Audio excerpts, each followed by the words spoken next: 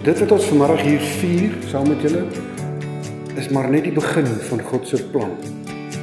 Van God se drome, se mooi gedagtes wat hy oor julle twee koester. Want as julle gedink het God was spesiaal vir julle gewees tot nou toe, nee, is die beste kom nog.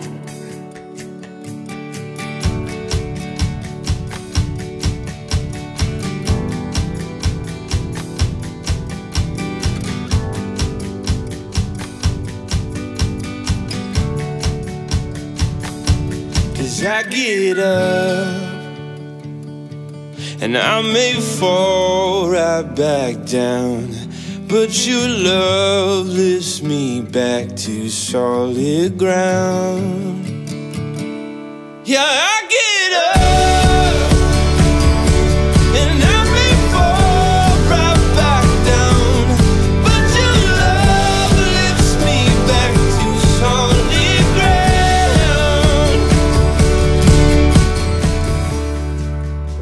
God en sy gemeente beloof ek liefde en trou vir altyd en in, in alle omstandighede aan jou my bruid Monica.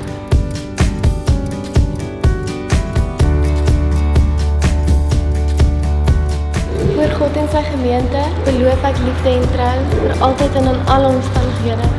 Jou my bruidegom Werner. Yeah, I get up.